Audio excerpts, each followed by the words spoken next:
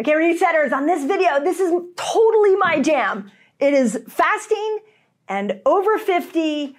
Why and how do we fast over 50? And this is for both men and women. Don't, don't click off if you're a man. Why would we fast over 50? And how do we do it to slow down aging? I can't wait to dive in on this. So here we go let's give the context. Let's look at the big picture here. And I wrote extensively about this in Fast Like a Girl. In fact, chapter chapter two um, was all about the science behind fasting. And the reason that this was really important is that actually, a lot of people will ask me like, well, what was your favorite chapter of the book? And I got to tell you that that was one of my favorite because what I did is that I, I took six different length fasts. I put the science in there. I explained why you would want to do these fasts. And I, I bu- even bullet pointed them out so that it made it so easy. And a lot of times I get asked, like, is fast like a girl only for women? And the answer is no primarily because of this chapter. If you want a good condensed summary on what fasting does for your body, please go check out that chapter. But on this video, I really want to dive into this longevity piece and how do we use fasting for longevity? And when we look at, the, at that, ask, answer that question, we have to remember that fasting does three things in, in, in the process of anti-aging. First, it removes senescent cells. So senescent cells are like these zombie cells. Uh, Mark Hyman wrote a book called Forever Young. I chatted with him on his podcast about this. And um, the zombie cells are these cells that are highly dysfunctional. They're inflamed. They've got weak mitochondria. They might have some genetics that have been triggered, like some cancer genes. Um, they might have some negative thought patterns, like I've taught you that Bruce Lipton showed us that our thoughts and our energy are in these cells. And so you have to keep in mind that a senescent zombie cell, aging cell, keeps re- replicating more senescent cells. So once a cell is aged, if you don't fix that cell, it keeps replicating itself over and over and over again, which is why we want to get rid of them.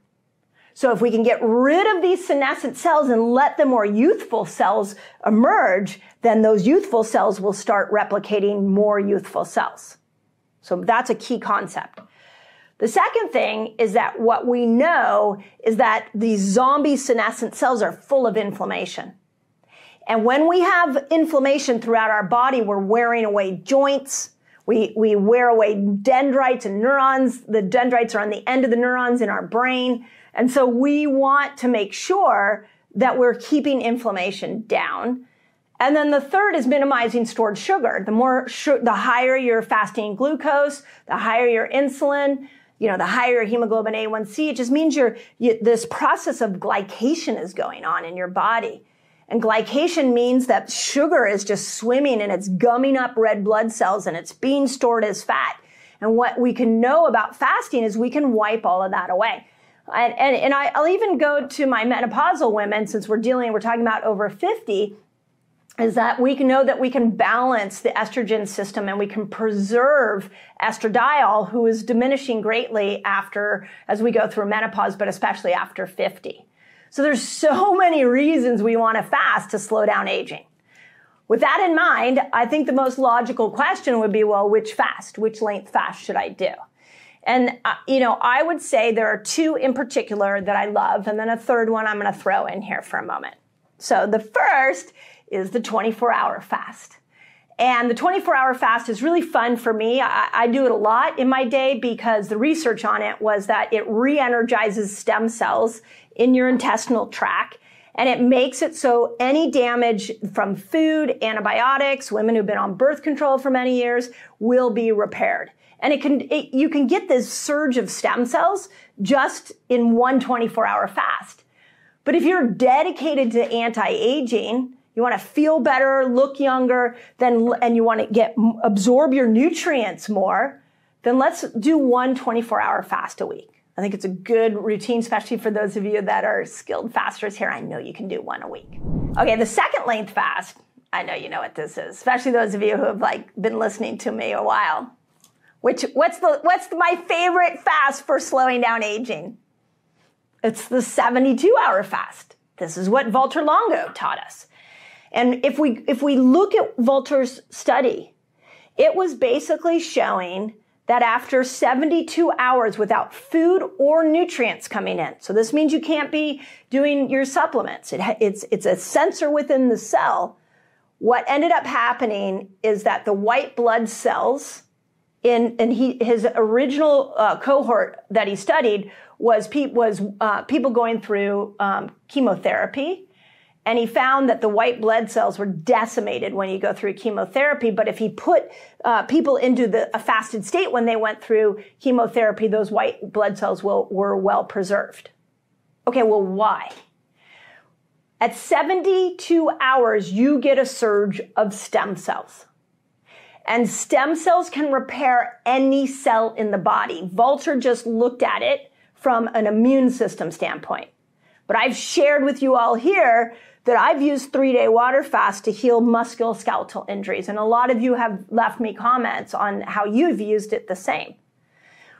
So there's, you know, you can use it to repair any part of your body that has a chronic uh, feeling of depletion in it, whether it's your brain, whether it's an injured body part, where it's, whether it's your skin, we can start to lean into these 72 hour fasts to start to repair these parts of our body because once you get stem cells, here's what's the most brilliant part about stem cells.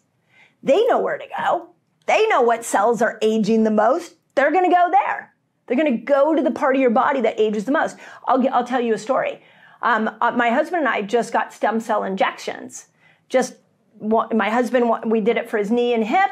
Um, for me, I just kind of wanted to see. Like, I, I, have heard the buzz. I have a good friend who owns a regenerative medicine center in Florida. And I was like, yeah, let's, you know, I'm 53. Let's try. Let's try some IV stem cells. And within a week, I could feel the parts that it was, it was healing. I have some injury in my low back and it started to go in there and you could feel it healing. It's the same thing you all feel when you go on a three day water fast and, and it's completely free. So go into the longer fast if you're trying to slow down aging and if you have some of these chronic conditions. I will tell you with pain, and I really want to point this out, is that if you have a chronic pain situation, it wears on your brain and the brain has to adapt over time. So throwing some of these longer fasts is really important because it re-energizes the, it re-energizes the brain by taking the pain away. Okay, I got to interrupt this video because I have a free guide for you so you can master fasting. It's called a beginner's guide to a fasting lifestyle. And all you've got to do is click here and you can jump right in. Second is what you break your fast with is really important. So make sure you're breaking it with protein because as you age, your muscle, it's an organ of longevity. So make sure that you are eating plenty of protein when you go in, out of the fasted state into food. I would encourage you to make sure you're getting at least 30 grams of protein to trigger an amino acid receptor site in the body so that you can make sure you grow those muscles strong. The only time I, I ever recommend you do not break a fast with protein immediately is post three day water fast. And the reason for that is we got to ease your digestive system. So there's a four step process. I wrote about it in Fast Like a Girl. But let's, if we want to slow down aging on a regular basis, if you're doing 13 hours, 14 hours, 15 hours, whatever, your jam is the 24 hour fast I talked about, let's break it with protein so that we can build muscle, so we can uh, help slow down the aging process. Last thing I want to say.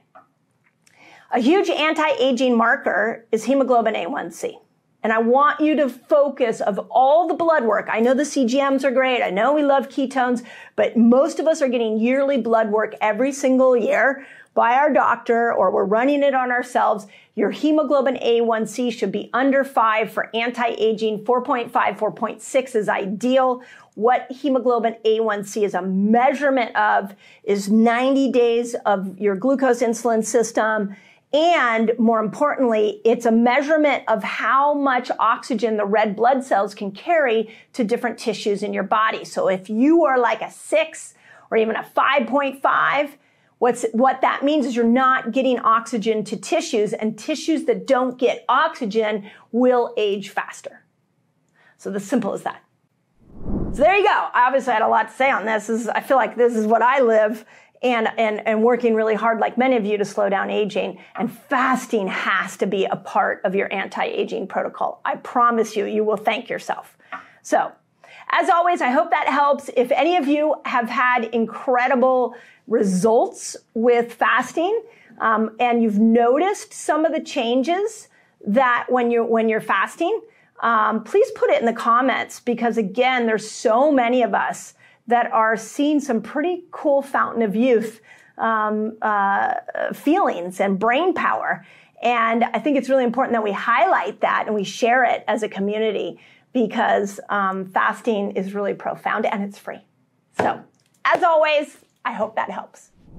Okay, if you loved this video, you're gonna wanna check out the next video of my food series. I, on this video, want to talk about the healthy foods that you might be eating that will stop you from a long and healthy life.